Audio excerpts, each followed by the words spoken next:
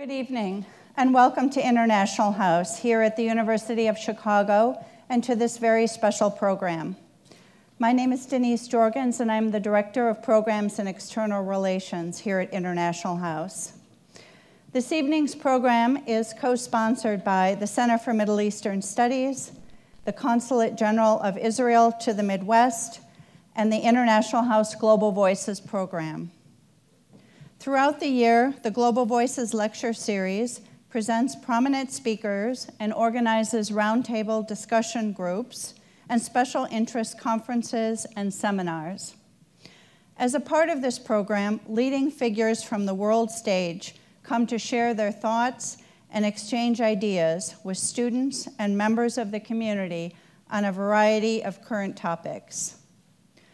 The Global Voices program enables International House to maintain its strong links with the city of Chicago in ways that are commensurate with its institutional position of promoting cross cultural understanding and respect and the exchange of ideas among people of all nations and backgrounds. Information about other upcoming programs is available on our literature table in the entryway. And tonight we are pleased to welcome the Honorable Michael Oren, Israeli Ambassador to the United States. Moderating our program this evening is Professor Fred Donner. Fred Donner is professor in the Department of Near Eastern Languages and Civilizations and is the director of the Center for Middle Eastern Studies. And now I'd like to welcome Professor Fred Donner to the podium to begin our program. Thank you.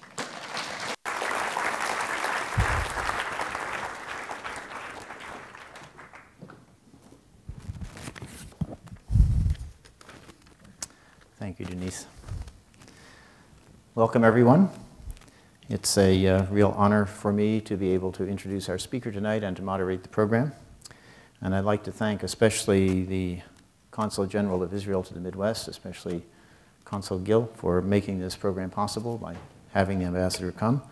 Uh, and I also want to thank International House and its staff, especially uh, Denise Jorgens, from whom you just heard, and Mary Beth DeStefano, for all the work they put into making this possible, and also the staff of the Center for Middle Eastern Studies.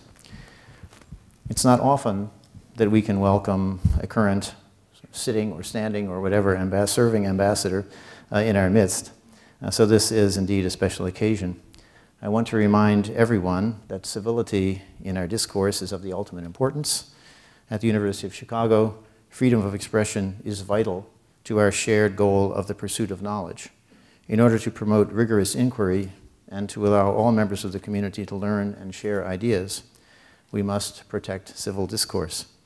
That means that we must honor civil discourse both when listening to featured speakers and when participating in question and answer sessions that follow, as one will today.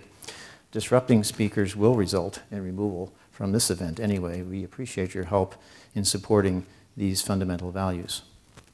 The order of the program tonight is very simple. Um, after my formal introduction, uh, the ambassador will speak, uh, and then when he's finished with his prepared remarks, uh, he'll sit down and uh, will he will entertain questions from you. Uh, we're going to have the questions uh, in the form of questions written on cards. I think there may have been cards on your seats when you sat down. If not, there will be cards available from ushers at the side of the aisles. So when he's done, you can write down your question and they'll be collected and brought up to me, and I will read the questions uh, to the ambassador uh, to uh, answer them. We've used this procedure in the past. It turns out to be uh, actually a very efficient um, procedure. You get through more questions in less time this way. And now it's my great pleasure to introduce our speaker tonight, the Honorable Michael Oren, the Ambassador of the State of Israel to the United States. Ambassador Oren took his BA from Columbia University and followed that with a master's in international affairs at Columbia. Uh, sometime later, he took a doctorate at uh, Princeton University in Near Eastern Studies in 1986. Uh, he did a term of military service in Israel and then entered diplomatic service. Uh, he's been since 2009, Israel's ambassador to the United States. As if this weren't already enough, he also has had a, a rather amazing career as a scholar and author. Um, he served as a visiting professor at Yale, Harvard, and Georgetown, uh, various connections with various Israeli universities, uh, and he's the author of several books, uh, two in particular of great importance to us. Um, one called Six Days of War, June 1967, 1967, and the Making of the Modern Middle East, and uh, more recently, uh, Power, Faith, and Fantasy, America in the Middle East, 1976 to the, 1776 to the present, which was a, uh, yeah, 1776 to the present, so a very long uh, term study, uh, which was very positively reviewed and uh, was, I don't know, many weeks on the New York Times bestseller list, quite a remarkable accomplishment, won a number of uh, prestigious book awards. Uh, so he's uh, obviously a multifaceted uh, individual, and it's a really a great honor to have him address us today. His presentation will be on the U.S.-Israel relationship. Uh, please join me in welcoming the Honorable Michael Oren. Thank you, Fred.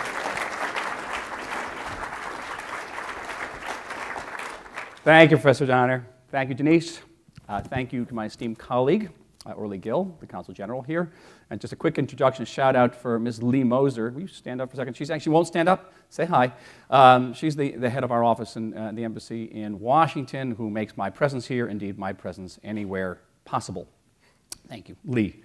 Um, I'll begin today with three sort of scenarios, three scenes from a, an, an Israeli ambassador's life in the United, the United States. Uh, first scene, I get invited by the U.S. Navy to fly out to an American aircraft carrier, the USS Truman, the name is significant, which is cruising somewhere between the vicinity of the coast of Turkey and um, the island of Rhodes, to address 5,200 crew members on the history of the U.S. Israel Reliance. So I go to a, an obscure airfield outside of Tel Aviv, and there there's a naval aircraft waiting, a propeller driven aircraft. They stick a bunch of earphones on me, they strap me into a chair, and then we fly out into the middle of the Mediterranean.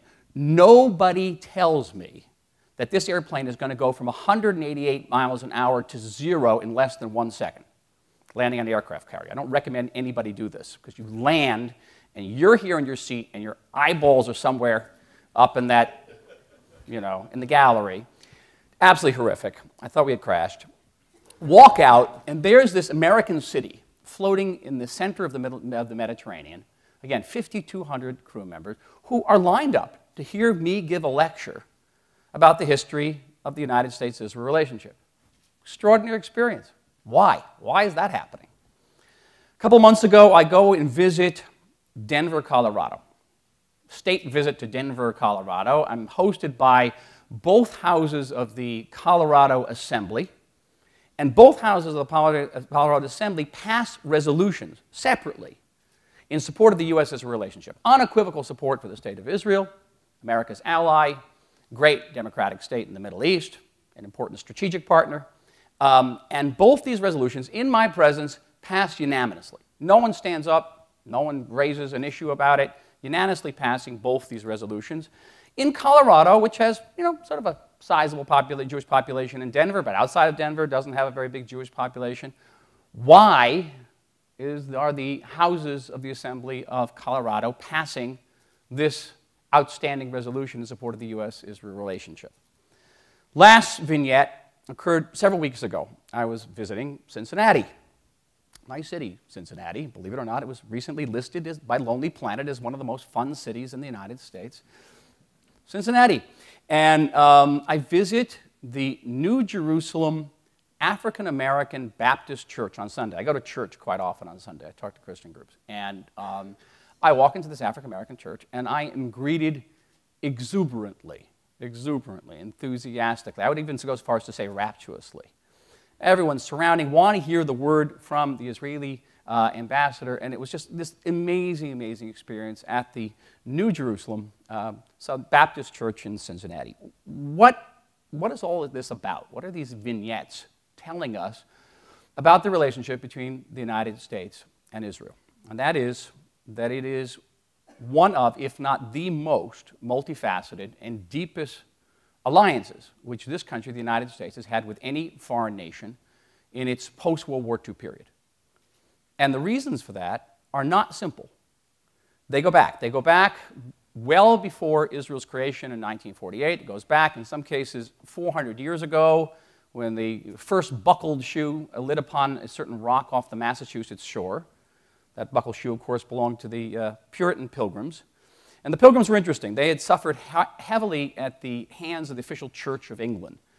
And in an attempt to find a biblical model that would better enable them to cope with their suffering in England, they looked into the New Testament, they didn't find it. They looked back to what they called the Old Testament, and they found something very unusual. They found a God who spoke directly to his people in their own language. It's interesting. God in the Bible only speaks one language, it's Hebrew. And um, they liked the story. They fashioned themselves as the new Israel. They began to give Hebrew names to their kids. That's why you have the David and the Benjamin and the Rebeccas and the Sarahs. They likened England to Egypt. They were in slavery there. They got out of slavery there. They crossed the Atlantic Ocean, which they likened to the Sinai.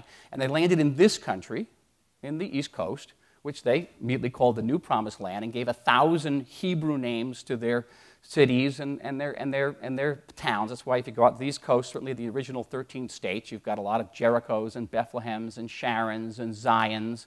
And if you're Long Island, you've got Bethany and Bethpage. By the way, they're all in Jerusalem.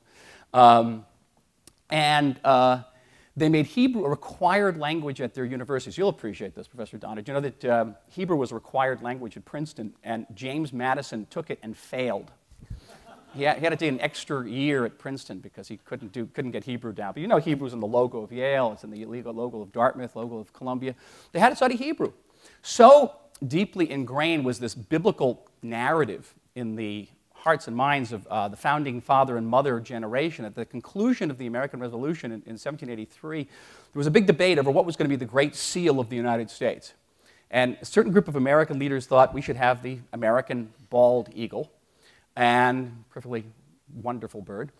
But there was another group of American leaders that said, no, the, the, the great seal of the United States should be Moses leading the children of Israel out of bondage into the promised land. And there really was a very close debate, and America came about this close to having Moses as its national symbol. And it lost out to the, you know, the follically challenged bird. But uh, you should know that the designers of the Moses seal were no less than John, Thomas Jefferson and Benjamin Franklin. So this was not an obscure notion. Now, as the, uh, as the new Israel, many of these founding fathers and mothers thought that they had a close kinship relationship with the old Israel, the Jews. And as the heirs to a new promised land, they had a close association with the old promised land, then known as Palestine. And they concluded that to be good Christians, to be good Americans, it was their divinely ordained duty to help those old Jews go back and reestablish their state in their ancient homeland. And thus was born this notion of restorationism which was not at all an obscure or peripheral notion in post colonial America. You have someone like John Adams, the second president of the United States, saying it was his fondest dream that 100,000 Jewish soldiers would march back into Judea and reclaim it as a Jewish state. Or Abraham Lincoln in 1863 saying he had a vision of helping the Jews to restore their statehood after he had healed the wounds of the American uh, Civil War. Uh, Woodrow Wilson, um, Woodrow Wilson, who was the grandson and son of Presbyterian ministers, said he, could, he felt his greatest blessing was helping the Jews to get to return to their Holy Land, and he was instrumental in convincing what became the League of Nations to give a mandate to the British that would help the Jews rebuild their homeland. That, of course, became the Partition Resolution uh, of 1947. And then, several months later, in May 1948, when the President of the United States had to decide whether to recognize uh, the recreated Jewish state on the day of its birth on May 14th, uh, he had quite a dilemma because the State Department was saying, don't do it. It's going to drag America into war. It's going to result in a cutoff of oil. But the president was Harry Truman, and he had had a very strict uh, religious upbringing, a Baptist upbringing. Claimed to have memorized the Bible. And um, when he, 11 minutes after Israel declared its independence, he made the United States the first nation on earth to, to recognize the recreated Jewish state and asked later why he did this, why he went against the advice of all his senior foreign policy analysis, he said he had one word. He said, uh, I'm Cyrus, he said. I'm Cyrus. Anybody know your Bible? Cyrus was the ancient Persian king who helped restore the Jews to their ancient uh, homeland after they were exiled. So Truman thought of himself as, as Cyrus. So there was a deep spiritual connection between the idea of America and idea of this recreated Jewish state well before uh, the announcement of Israel's independence on May 14, 1948. But Israel comes into being not only as a Jewish state, it comes into being as a democratic state. And that added a, a completely new and very strong stratum of connection between the, uh, the United States and the state of Israel. Uh, Israel, like the United States, has representative government, we have a Knesset, a parliament. We have the rule of law. We have an independent judiciary. Um, in uh, Israel, today, at 64 years old, is older than more than half of the democracies in the world. And it's a member of a very small club, of which the United States is also a member. That club of those countries, those democratic countries that have never known a second of non democratic rule. And given the fact that Israel has never had a moment of peace either, and that peace at war is a notorious crusher of democracies throughout history, uh, that's quite an accomplishment for Israel. I frankly think it's, it's, Israel's greatest accomplishment that we have never had any interregnum of non-democratic rule. Um, we are a country in which no leader is above the law. Recently, we had a former president of Israel sentenced to a long prison term for sexual offenses by a Supreme Court panel that included uh, two women and an Arab Supreme Court judge. Uh, we are the only country in the Middle East that offers equal rights for homosexuals. Matter of fact, we actually have a, a Palestinian exile community in Tel Aviv that has found shelter uh, there. Every year, the state of Israel, in the face of great opposition from some religious groups, uh, Jewish, Muslim, and Christian, holds the uh, Gay Independence Day, uh, Day in, uh, International Gay Pride uh, Parade in Tel Aviv and Jerusalem. Um, Same sex couples. We never had don't ask, don't tell in Israel. Um, very much a world a regional leader in that field. women's rights. There's been a lot written re- recently about um, a possible erosion of women's rights in Israel, and there are some large religious organization, uh, uh, populations in Israel who have, um, are very, for, for, for whom uh, separation of the sexes is an important issue. And we always have to counterbalance, like any democracy, uh, the values of democracy and pluralism. But the fact of the matter is, discrimination against women in Israel is illegal. And those people who abused or discriminated against women in Israel were arrested, and the police came in and, and made sure that that didn't happen again. Israel, right now, of its 120 member parliament, has 24 uh, women members. The government has four women ministers. The heads of, of both uh, opposition parties, until uh, as of last week, one of them just got unseated, were women. Until recently, the Chief Justice of the Supreme Court was a woman. We have a, a women general, uh, woman general on our uh, Joint Chiefs of Staff. Um, so uh, Israel is also a regional uh, leader in, in women's rights. Um, a great affinity there between the United States and Israel. If you come to some cities in the United States, New York, you'll find a Ben Gurion Street named after our founding father. You'll find a Golda Meir Street. We had a women, a woman prime minister. And if you go to if you go to my hometown in Jerusalem, you'll find a Washington Street, you'll find a Lincoln Street, though they, people do not pronounce it Lincoln, they say Lincoln. Very hard in Hebrew to say Lincoln. Um, Lincoln Street, uh, Israel is the only country in the Middle East that has a memorial for John Fitzgerald Kennedy. It is the only country in the world, only country in the Middle East that has a memorial for Martin Luther King. We actually commemorate Martin Luther King Day in Israel. It is the only country in the Middle East that has a very large 9 uh, 11 memorial just outside of Jerusalem. And we are the only country that has a park named for and including an exact replica of uh, the Liberty Bell, Liberty Bell Park in downtown Jerusalem. So, all, all that is part of the uh, great connectedness between the American and Israeli democracies. So, you had the spiritual connection, you had the democratic uh, affinity. What you did not have was a strategic alliance. Anybody who said that the United States and Israel have had a strategic alliance going back to 1948 is wrong, doesn't know their history. Uh, before uh, 1967, the United States did not sell a helmet to the state of Israel, did not sell a bullet to the state of Israel. There was no strategic alliance. The United States actually, for most of that period, had an arms embargo of Israel, stemming back from the War of Independence in 1948. But all that changed in six days uh, in 1967 the Six Day War, um, where uh, the Israeli army defeated a number of Arab armies that were backed by the Soviets at the time. And on the um, so called seventh day of that war, American policymakers woke up and said, wait a minute, there's this little superpower in the Middle East that just defeated a lot of Soviet proxies. We should be allied with that country. And thus was born the US Israel Strategic Alliance. Israel had always been a close ally of the United States in terms of voting in the UN, on, on the Cold War in Korea. Um, uh, even just recently, we remain that way. Our voting records in the United States are very much the same. There was recently a vote on, uh, on the Cuban embargo in the General Assembly. It was 184 to 2. Okay? You can imagine who the two was the United States and Israel. Still, no strategic alliance.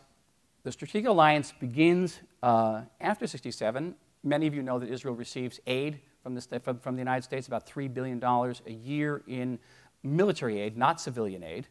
75% uh, of that aid is spent in the United States, some of it in this area, the greater Chicago area. It creates tens of thousands of jobs. The United States tells us what we're going to buy with this money. And, uh, but what do you get for the $3 billion? $3 billion is the, is the cost of about one half of a modern um, patrol boat, a cruiser, a light cruiser in the Navy. Um, but what do you get for that? Well, first of all, you get an immense amount of cooperation in systems development, in particular anti ballistic development. Both the United States and Israel face uh, seemingly uh, insurmountable challenges from uh, missile arsenals around the world, which have just grown exponentially in the last uh, decade. For example, 50,000 rockets in the hands of Hezbollah in, in Lebanon, uh, 10,000 Hamas around the world, missile threats.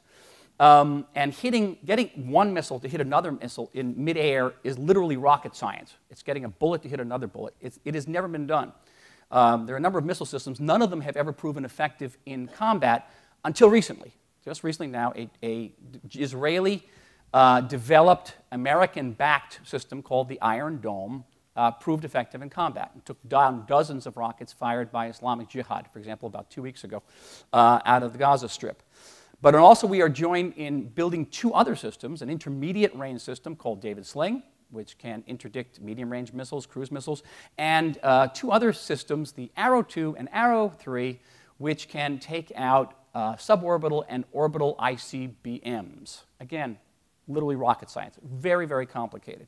United States and Israel cooperate in protecting American troops from improvised explosive devices, which have caused just tremendous uh, casualties among American uh, fighting troops in, in, Iraq at first, later in Afghanistan.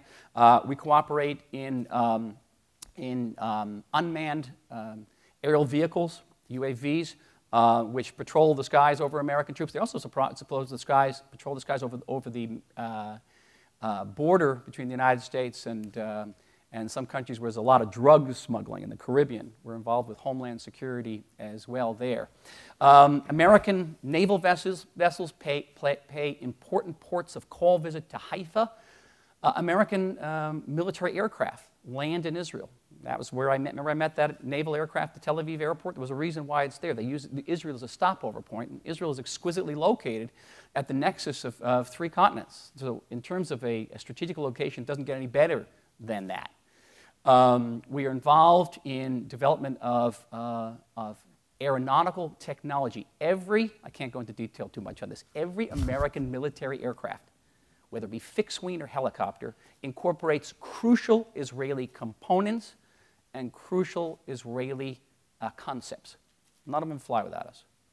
That kind of relationship. You don't, you don't get deeper than that. On the intelligence level, we are sharing intelligence daily at the highest and most intimate level. Uh, we share what we have with the United States. The United States shares what uh, they have. Um, we see things very much eye to eye in terms of developments in the region. Um, we look at the same materials. We don't always join the same conclusions, but we look at the same materials. And uh, I can't think of a closer relationship than, than, the, than the United States has with the, with the Israeli intelligence community. Um, but Israel is involved not only in, in, on the battlefield uh, and conducting wars together with the United States, Israel is involved in saving American lives.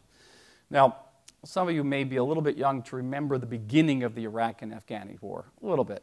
Uh, but uh, so those of us who aren't, uh, remember that there was a lot of controversy in this country that American military vehicles had gone over uh, to these areas without being sufficiently armored. Remember the whole Humvee crisis? Um, a small kibbutz, a small communal farm in northern Israel, um, not coincidentally founded by Americans in 1949, came up with a do it yourself overnight armoring kit that managed to, over the course of the next decade, managed to armor 20,000 American armored vehicles, American military vehicles, and saved untold lives. At the embassy, we, we get the thank you notes. We get the thank you notes from the, from the, from the parents, even from the grandparents, from the kids for saving their, their sons, their fathers. Um, it has really it's been a real game changer, and it continues to armor all these American, Israel, American vehicles. Israel also, a, a small startup in Jerusalem, developed a, um, a high-tech bandage that applies pressure from the inside on a wound. And um, that bandage was in the medical bag of a member of a SWAT team in Tucson, Arizona, the day that Gabby Giffords, the congresswoman, was shot. And they immediately applied that bandage to her head wound and saved her life. Israel has, has supplied over a million of these bandages uh, to American fighting troops uh, in Afghanistan and the Middle East. So it's, uh, we're very much engaged in, in, saving lives as well. Together, the United States and Israel have mounted humanitarian missions around the world uh, in cooperation with the U.S. State Department the U.S. military. Israel was ma managed to be the first on the ground in earthquake-stricken Haiti uh, with a fully manned and fully operational uh, medical unit. Uh, we did something very similar in Turkey. Uh, we did something very similar in Indonesia. Uh, we have, um, we're involved in humanitarian missions in Africa, in, um, in uh, in drought relief, agricultural development, education, women's empowerment programs, also in South America, all in cooperation uh, with the United States. And all of that forms under, falls under the rubric of sort of the strategic alliance. But it doesn't end there. And I, I came into this job, as, as Professor Donner said earlier, as a person who had spent a lot of time doing research on this subject. And I came in thinking I, I pretty much knew it all, but it turned out taking the job was very humbling for me because it turned out that I learned very, I knew very little. And there was one area of the U.S.'s relationship that I had no idea about whatsoever, and that is the burgeoning commercial ties between the United States and Israel. Today, Israel is America's 20th largest customer in the world. We're bigger than Argentina, we're bigger than Russia, we're bigger than Saudi Arabia, we're bigger than Spain. We're the 12th largest export destination for the United States. Over the last decade alone, America has invested, or Americans have invested something in the order of $80 billion in the state of Israel. Israelis have, have invested about $55 billion here at a time when American corporations, alas, are exporting a lot of their jobs to Asia. We're outsourcing jobs to the United States. Tens of thousands of Americans are employed in Israeli companies here. Uh, you use some of their products, whether you, you eat Strauss you know, Sabra hummus, that's a, the one that people tend to like. But uh, one that you don't like are Teva pills. Teva is the largest generic pill maker in the world, uh, largest generic pharmaceutical company. One out of every five pills that you take, and I hope you don't have to take them, uh, you take in this country is an Israeli pill. Um, and, uh, that includes your antibiotics. It also includes the, the, little pill that you swallow that takes a little picture of your insides if you're having indigestion. That's an Israeli innovation as well. Um, every, just about every uh, large high-tech corporation in this country has its R&D center in Israel. Israel is a high-tech miracle. Motorola, IBM, uh, now Apple, Google, all have their R&D centers in Israel. Uh, if you have Intel in your computer, you have Israeli Israel in your computer. They, we make the microchips. You know that, uh, that intuitive search box you have, you begin to type something in, the computer guesses what you're, gonna, you're looking for. That's an Israeli innovation. Your USB flash drive is from Israel. Um, all of your computers, all of your cell phones work with Israeli components, including about 70% of your computer and, and cell phone LCD screens, which are, uh, are made in Israel. So you are involved in Israel, irrespective of your political affiliation, you have Israel in your life uh, in various ways. Now, this is, this is all entirely new. Um, this has been really a development of the last, say, 10, 15 years. Um, and Israel is a world leader not only in, in medical uh, technology, but in the search for, a, uh, for alternative energy. Some of you have ever heard of Better Place. It's this revolutionary concept about uh, creating an entire enclosed system for electric cars. Uh, the entire state of Israel is going to be transformed into a laboratory for these electric cars. Uh, and we are exporting this system now to, uh, to, Japan, to Hawaii, to Iceland. And we hope to help uh, President Obama fulfill his pledge uh, to get a million electric cars on American roads by uh, 2015. So you have all of these different components, these different aspects, the origins and roots of the Israeli uh, Israel relation, uh, American relationship, the spiritual tie, the, the, the, the, democratic bonds, the strategic alliance, the, the growing commercial uh, relationship. Do we agree on everything? Guess what? We don't. Like even the closest allies in history, those of you who study history, remember the British uh, American alliance during World War II, lots of disagreements there. We have a long standing disagreement over Israel's settlement policy, and I'm sure you're going to have questions about it, so I won't go too different, deeply detailed about it now. Um, but right now, our position uh, on the uh, settlement policy on Jerusalem, a long standing distance going back not to the beginning of the Obama administration, but to the Truman administration in 1948, a disagreement over the, uh, Israel's uh, policy toward Jerusalem. But overwhelmingly, overwhelmingly. We see eye to eye uh, both on broad uh, regional issues as well as specific issues relating to the peace process with the Palestinians. And though we've had some tactical disagreements about how to get to the endpoint, we have no disagreement about the endpoint. The endpoint is two states for two people uh, a Jewish state called the State of Israel, which is the nation state of the Jewish people, and the nation state of the Palestinian people, Palestine, uh, that will live side by side in mutual uh, security, mutual recognition, uh, and peace. And we agree that there's no alternative to reaching that goal than by Israeli and American, by Israeli and Palestinian interlocutors sitting down and negotiating face, face, face. There's no alternative to it. We agree that there's no place for terrorists at the negotiating table. We agree on so many different things. Um, and in fact, the tactical difference, disagreements between us today are much, much less. On the Iranian issue, probably the most uh, complex and, um, and, and tense issue of our day. Uh, we look at the situation in Iran. We agree where Iran is on its nuclear program. Um, we agree in Israel that uh, the, the need for diplomacy, which would include crippling uh, sanctions, and a credible military threat stands the best chance of dissuading the Iranian regime from pursuing nuclear weapons. And in a speech in Washington, oh, about three weeks ago, um, President Obama said some very important things for us uh, in that way. He said, uh, A, that um, he remained absolutely determined to prevent Iran from acquiring nuclear weapons, that uh, all options remained on the table. One of those options was a military option. One of those options was not, I stress, was not containment. Israel, he said, has a right to defend itself against any Middle Eastern threat or any combination of Middle Eastern threats, and only Israel, as a sovereign nation, can best determine how to defend its citizens from threats. Very important nation. Altogether, we look at the Middle East today, Middle East that is in high state of flux, very flammable.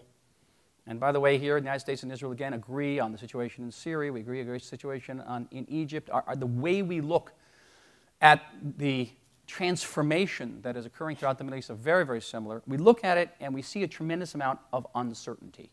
Nobody knows what the Middle East is going to look like, never mind next year, next month. Nobody knows. But there's one thing which the United States and Israel together can be certain of. And that is that there will be one state that will remain democratic, it will remain stable, it will remain financially sound, it will be able to defend itself, and the Israeli armed forces is larger than the British and the French armies combined, and it will remain unequivocally pro American. You will not find an anti American demonstration in the state of Israel. You will not find American flags being burnt there ever, ever. It is the one source of absolute certainty there. And Israel, giving its geographic location, given the great roots of our relationship, Israel will remain not only America's ally, but I firmly believe America's ultimate ally. Thank you. Andrew, you can sit as you wish. I can sit. Oh, wow. that is quite a, a luxury. Doesn't happen a lot in my job get water. Yes.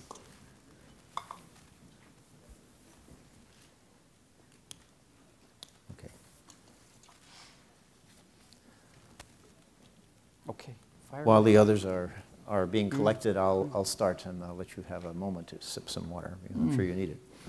Ambassador, can you please explain how increasing Israeli settlements in the West Bank is part of a cogent plan for peace? Thank you say it's a cogent plan for peace, but it, do you hear me? Is my microphone on? Now yes. it is. Okay.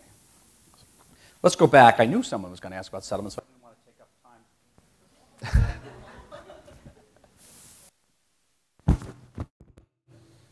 you got to be careful with open mics, closed mics these days.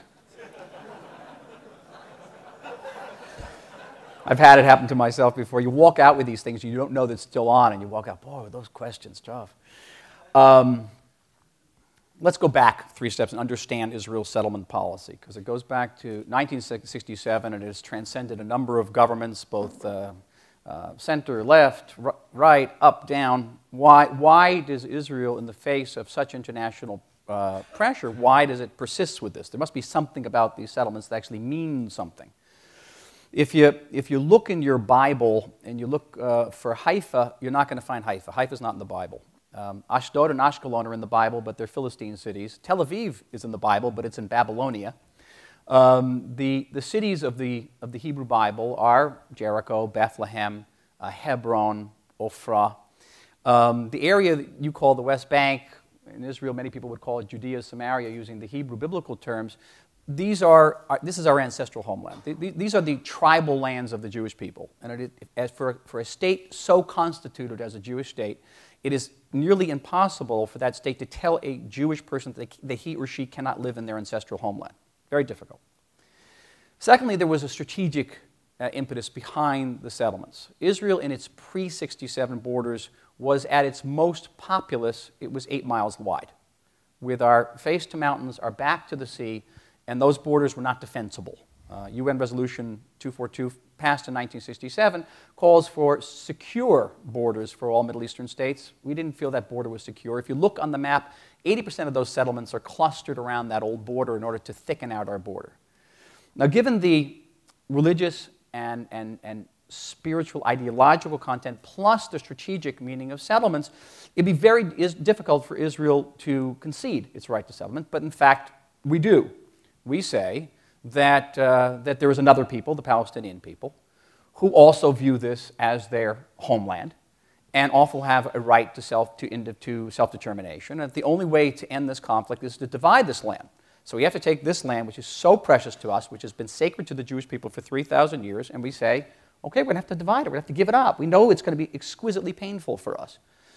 Uh, Prime Minister Netanyahu in his recent speech before the joint session of Congress, and by the way, it's another exemplar of the U.S.'s relations because Netanyahu was one of the few um, uh, heads of state to be invited twice to uh, address joint sessions of Congress, said, and he acknowledged, as head of the Likud, he acknowledged that there will be settlements that will lie beyond Israel's border in the event of the creation of a two state solution. So we know that that is not what's going to uh, to impede the, to impede the settlements, to set a, a settlement, a, an arrangement with the Palestinians. We know that the Palestinians negotiated with us for about 15 years uh, without a settlement freeze. And we know we reached peace with Egypt and Jordan without a settlement freeze. And we know that we ripped up 21 settlements from Gaza in 2005. And I participated in that operation as a reserve officer. It was the most traumatic thing I've ever been in.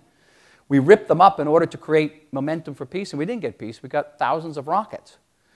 So while I would you know, agree that settlements are not a, uh, a contributor to the peace process, the contributing factor to the peace process, they're not the impediment. The impediment is the willingness and ability of Palestinian leadership to actually sit down and negotiate with us uh, to reach the two state solution, and then we will look at the border.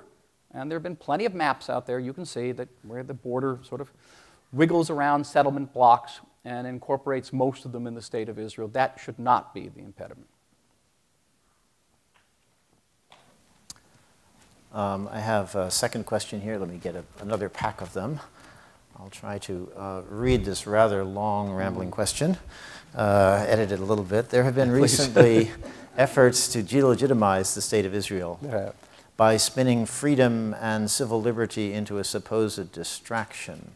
Accusations that universal suffrage, women's rights, and gay rights as a distraction from the Palestinian issue, and, and so on.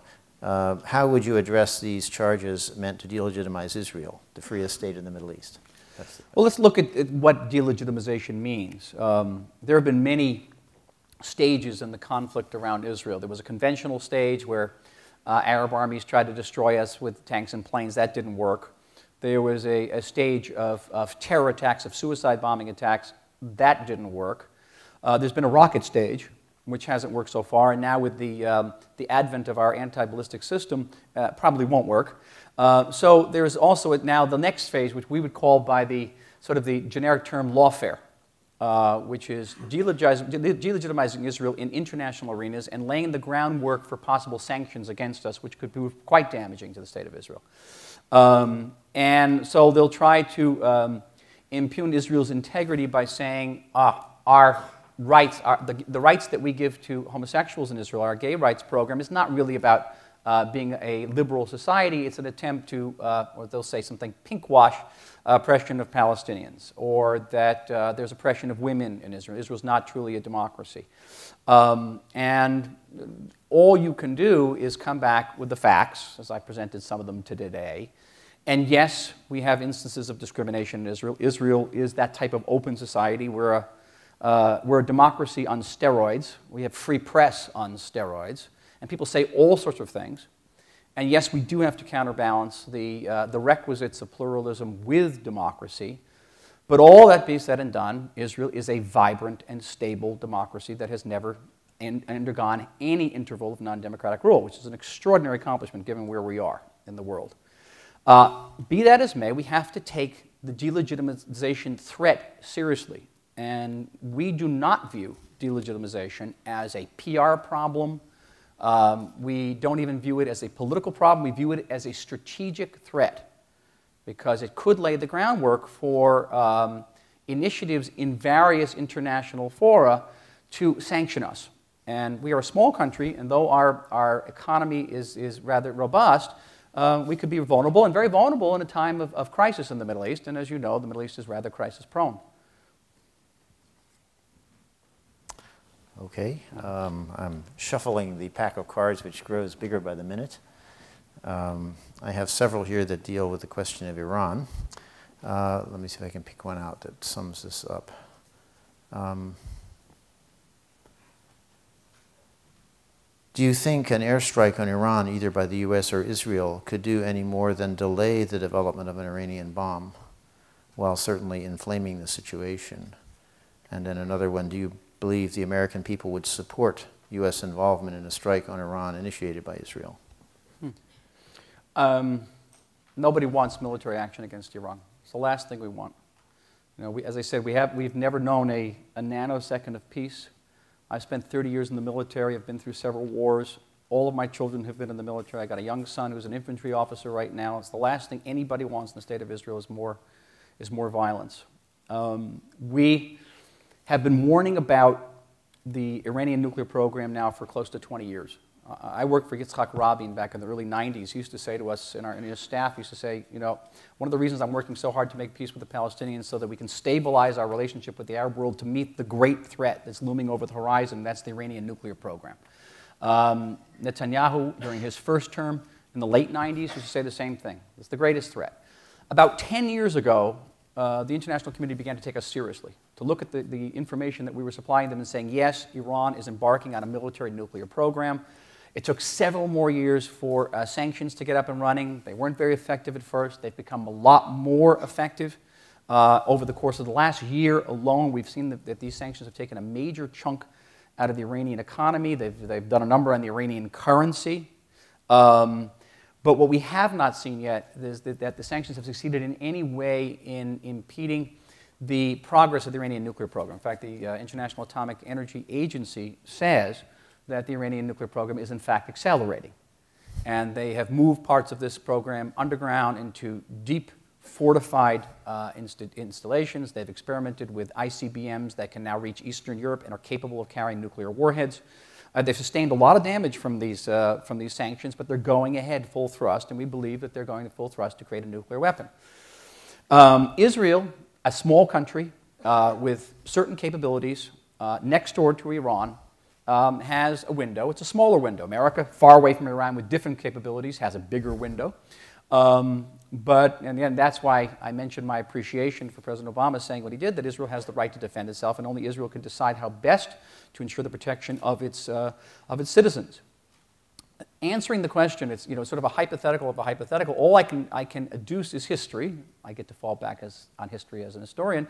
And that is remembering that in the uh, 1981 Israeli attack against the Iraqi nuclear re reactor, the assumption was that that would gain Israel one year of uh, respite from the, Iranian, from the Iraqi nuclear program. And as many of you may recall, uh, that Iraqi nuclear program never came about. Um, we got a lot more than one year. We got 20 plus. So um, nobody knows in advance, and uh, we, can't, we can't speculate. Would the United States support um, Israel in the event of a military strike? There are a number of polls. I get polls across my, my desk all the time. One of the polls I received recently showed that support for Israel in this country is close at an all time high. The highest was during the 1991 Gulf War when we were being pummeled by, by Scud rockets. But we're approaching that. We're, um, uh, the United States remains just overwhelmingly, fundamentally pro Israel. There's a reason why Congress embraces the Prime Minister the way it does, and why I get such a great greeting on Commons, because Congress is reflecting that public opinion rather directly. Um, there are also polls that show significant support in this country for uh, Israel's uh, right uh, and indeed duty uh, to defend itself against all threats, including the Iranian threat. Okay, next up. Um, Yoram Hazony has noted a decline in belief in the value of nation states. Does this affect support in Europe and America for a two state solution and for a Jewish state of Israel? Mm-hmm. Well, there may be, and Yoram's an old colleague of mine, and I'm going to take issue with him. There may be a decline of support in, in Europe, um, though I don't see anybody actually erasing their borders too quickly in Europe anymore. Um, uh, but the overwhelming majority of states in the world are nation states. Overwhelming majority. And Israel is a nation state like Ireland's a nation state, like Bulgaria is a nation state. Uh, there's no end of, of examples of nation states. We are different than some nation states, believe it or not, because we do not have a national religion. We are the nation state of the Jewish people. We aren't a theocracy. But there are many nation states, like Britain and Denmark, that do have official religions. We don't have one. Um, I don't think that that, that, that is going to uh, in any way erode support for the two state solution. Uh, any people who are sort of taking issue with the nation state. Um, I think the, the major obstacle to the emergence of a two state solution is the price that the Palestinians are going to have to pay. I think we are reconciled ourselves, at least in theory, till we have to do it, to, to, to the price we have to pay, which is going to be exquisitely painful. Listen, we're going to be, we're going to be giving up parts of our sacred homeland, really sacred for the Jewish people for 3,000 years. We give it up. We're taking immense risk. Keep in mind, we pulled out of Lebanon, we pulled out of Gaza, hoping to get peace, and we got thousands of rockets. It was a big risk. The West Bank is immediately opposite Tel Aviv and Jerusalem. Talk about rocket range, we'll be in pistol range. But the Palestinians also have to pay a very heavy price. And I, in no means, diminish the price that the Palestinians have to pay. They have to give up parts of their homeland, big part. They have to give up the dream of refugee return or the descendants of refugees returning to, uh, to what we call pre 67 Israel. It's not going to happen. Israel is not going to be, remain Israel, but not going to be a Jewish state because it will have a Palestinian majority. That's not going to happen. They're going to have to give that all up and they're going to have to accept the existence of a permanent and legitimate Jewish state in the Middle East. That's, that's no small thing. That's why we demand one of the things we're going to seek in these negotiations is recognition of Israel as the Jewish state. It's, it's not semantic. It's as substantive as you can get. It means we're their person. It means the Jews are a people, and the Jews are endowed with the right of self-determination, like other peoples in the Middle East, like the Palestinian people. So it's, it's going to be, it's going to be a, a, a painful process. And once the Palestinians can reconcile themselves to paying that price, I think we can move forward. Ambassador, what is Israel doing on a grassroots level to decrease the level of violence on a local level near the Gaza Strip? And what sort of things will be taken into account when determining a border between Israel and Palestine? Mm. Well, they're, they're, two different, yeah, they're different questions. questions. Okay. It's on one card. Like, which one? Like, I have to do both of them? You know, I, along the Gaza border, it's different. Gaza is, is, is a de facto sovereign entity uh, under the nominal control, though not absolute control, of Hamas. Um, Hamas, if you read its covenant, calls not only for the destruction of the state of Israel, but calls for the destruction of the Jewish people worldwide. It's a genocidal organization. It's not as if we can sit down and start um, engaging in a dialogue with Hamas. They're not going to engage in a dialogue with us. They want us dead. Uh, and they are acquiring uh, weaponry now that can strike central uh, Tel Aviv. And um, repeatedly over the last six, seven months, they've, uh, they've fired off some of these weapons, several hundred rockets. So they're, they're, they're quite serious about it. Um, what we have done is we have eased to a very extensive ex uh, degree the, uh, the ground based blockade of Gaza. Uh, just about anything can get into Gaza today. Gaza has about a 26% growth rate, economic growth rate, and there are no shortages there. Um, we try to restrict certain products from going in, particularly what we call end-use products that can be used, say, to build bunkers or to build uh, defensive positions or be used for weaponry. Um, so there's really nothing much we can do there on the Gaza border other than to guard our citizens and hope for a situation where the people of Gaza will say enough with Hamas, enough with Islamic Jihad. We want to join the peace process and sit down and negotiate uh, together with the Palestinian Authority. As for the other border, the border on the West Bank, uh, that border is going to be influenced by a number of factors. One of them is the demographic changes that have taken place since 1967, and they've been acknowledged both by, by President Obama and by Secretary of State Clinton. The changes of realities in the ground they talk about, and those are what we're talking about the settlement blocks. But we'll also take into account things like holy places. We're going to have to negotiate that because there are some holy places that are holy both to Islam and to Judaism. Um, and we will have to take into consideration Israel's security needs because, as I said earlier, uh, the 67 border was not a defensible border, and we want a border, We'll be, as the Prime Minister said in his joint speech to, to uh, Congress, will be very generous on the territory, but we need a defensible border. And we, we want to give the Palestinians a territorially viable and contiguous country. Next question. Mm -hmm. What role has Israel played in reducing Middle Eastern water scarcity, and how will it do so Ooh. in the future? That's a good one. Israel leads the world in water reclamation. We reclaim 83% of our wastewater.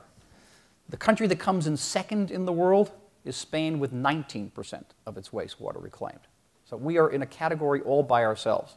You may want to think about this next time you're in Israel and you take a, a drink of water from your tap you may get a sense of deja vu. Now it goes to someplace completely different. Uh, you can believe that. Um, but we do. Uh, we also lead the world in, in, water desalination. We have the world's largest, we're building the world's largest desalination plant. And we want our, um, our experience, our pioneering experience in water reclamation um, to, to share it. We want to share it with our neighbors. I mean, as it is, we share it with, with Jordan. Um, someday we look forward to sharing it with, uh, with Syria and other countries. Water is going to be the critical issue in the Middle East in the 21st century. Um, the Nile is going to be a source of, of just untold controversy. You know this. There are nine riparian states along the Nile, uh, and they're still using a formula that the British devised for, for Egypt back in the 19th century. Uh, the Nile has the same amount of water it had in the 19th century, but it's got about six times the amount of population around it, um, and people are going to be short of water. Um, Israel is there to help. Uh, what is Israel doing to protect the rights of secular people in the midst of growing communities of Jewish extremists? Does Israel recognize this issue as a possible threat to democracy? I don't know if it's a threat to popular democracy, but it is a threat to, um, to certain populations in, in Israel who have been the target, um, whether it be women in certain neighborhoods, and it's only in very, very certain neighborhoods, or, or, or, minorities, and Israel takes those threats very, very seriously. As I said before, it is illegal. Discrimination is illegal, um, whether it be discrimination against Muslims or secular Jews. At the end of the day, again, I mentioned earlier, I keep on sort of harping on this, uh, that Israel has to make a number of calculations in maintaining its democracy. We have to reconcile our democratic values with our security needs, but we also have to uh, counterbalance uh, democracy, democratic values with pluralism. We have growing populations. Many of them are, uh, are religious in nature. And um, a true democracy also has to respect the, the rights of its minorities, um, as we know. Um, in, in, the United States has some very similar debates. You know, America, you have these things called obscenity laws on your national television, you know, on network television. You can't say certain words. I'm not going to say what they are. George, George, Carlin did it once. Um, uh, you can't say certain words. You can't show certain parts of the male or female anatomy. Where do these laws come from? They come from um, groups in the United States who care about these things. And they are, in a certain way, they are restrictions on, on, on the First Amendment. They are. They tell you what you can and cannot say on network television, what you can and cannot show. Israel does not have obscenity laws. You can see any, say anything you want on Israeli television, and they do. You can show pretty much anything you want on Israeli television, and you do. But we have other areas of Israel, certain religious neighborhoods, where they, the, the, the neighbors don't like billboards that show women in bikinis. They have that. There may be, maybe neighborhoods like that in the United States as well. And then we as a democracy have to decide at what point do we say we have to respect the minority of these people, or what point do we say this is discrimination? And it's a work in progress, as any democracy is. It is constantly reevaluating, constantly recal- recalibrating. At the end of the day, Israel, the decisions in Israel are made by the secular government of Israel, by an independent judiciary, a very activist judiciary, the Supreme Court. Um, it is made by the Knesset, which is a secular body, um, and by the government, which is a secular body. Though it may have religious members, as there are religious people in government here as well. But it's a, it's a work in progress and a constant dynamic. I'm afraid our time has come to an end. The ambassador has a very tight schedule, and he's at the end of his leash, it turns out. So uh, I'd like to I thank know you. where I very- had one. I'd, I'd like to thank you very much, and please join me in thanking the ambassador. Thank you all. Thank you very much. Great. Thank you, Mr. Chicago. Thank you. Thank you.